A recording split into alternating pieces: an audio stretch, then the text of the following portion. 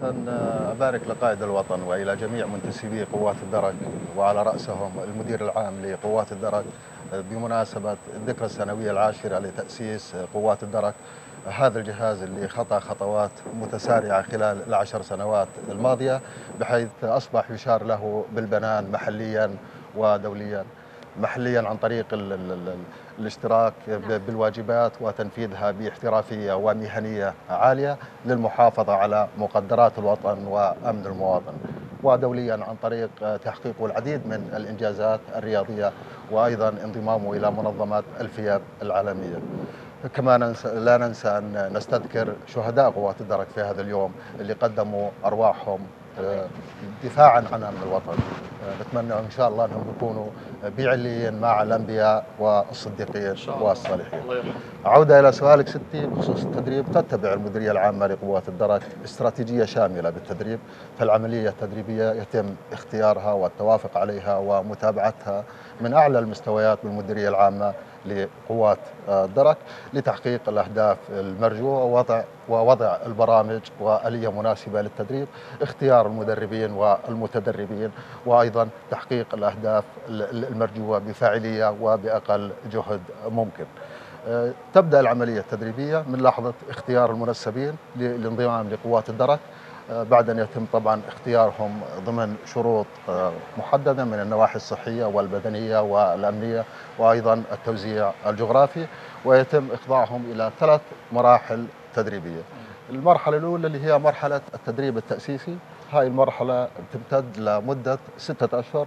يتلقى المشاركون خلالها العديد من المواضيع التدريبية من اللياقة البدنية المشاة الأسلحة الضبط والربط العسكري الرمايات أيضا قانون قوات الدرك والعديد من المواضيع اللي ممكن تهمهم بهذه المرحلة. حال انتهاء هاي المرحلة اللي بتمتد لستة أشهر يتم إشراكهم بالمرحلة الثانية وهي مرحلة التدريب الفردي وهاي المرحلة تنقسم إلى نوعين. مرحلة التدريب التخصصي ومرحلة التدريب العام. مرحلة التدريب التخصصي عن طريق إشراكهم بالعديد من الدورات ضمن معاهد ومدارس قوات الدرك. من هذه الدورات التخصصية اللي بتهمنا في مجال عملنا حفظ النظام المهارات والقتال في المناطق المبنية الصاعقة أيضا دورات الدفاع عن النفس الكثيرة مثل السيجال، التايكواندو، الكاراتيه، الجودو. وأيضا يتم إخضاعهم لدورات بالقوانين الخصوصية وقانون احترام حقوق الإنسان وضبط النفس واحترام المواطن وكرامة المواطن وعدم الانفعال أثناء الواجبات وتنفيذ الواجبات بشكل عام. التدريب العام طبعا هذا يمتد ويستمر خلال سنه تدريبيه كاملة.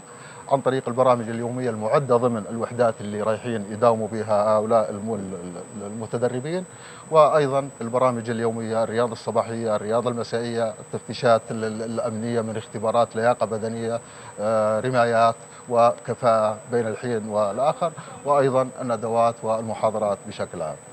النوع الثالث أو المرحلة الثالثة من مراحل التدريب يخضع المتدربين فيها اللي هي مرحلة التدريب الجماعي وهذه المرحلة يتم تدريبهم على سيناريوهات مختلفة للعملية المتوقعة اللي ممكن إنهم بنفذوها وبتكون على شكل مجموعات على مستوى جماعة، على مستوى فصيل، على مستوى سريه وعلى مستوى كتيبة. نعم. حال الانتهاء من هذه العملية التدريبية يتم أيضا إشراكهم بدورات تأهيلية فهناك خطة بالمديرية العامة لقوات الدرك لتأهيل أفرادنا وضباط صفنا وضباطنا بدورات بين أثناء ترفيعهم من رتبه إلى أخرى بإشراكهم بالعديد من الدورات اللي ممكن إنها بتهمنا كقوات الدرك. لا ننسى انه السمعة اللي تتمتع بها قوات الدرك تستقطب العديد من المتدربين والمشاركين من الأجهزة الأمنية الأخرى، القوات المسلحة وأيضا من الدول الصديقة نعم. والدول فعلا. الشقيقة. صحيح. نعم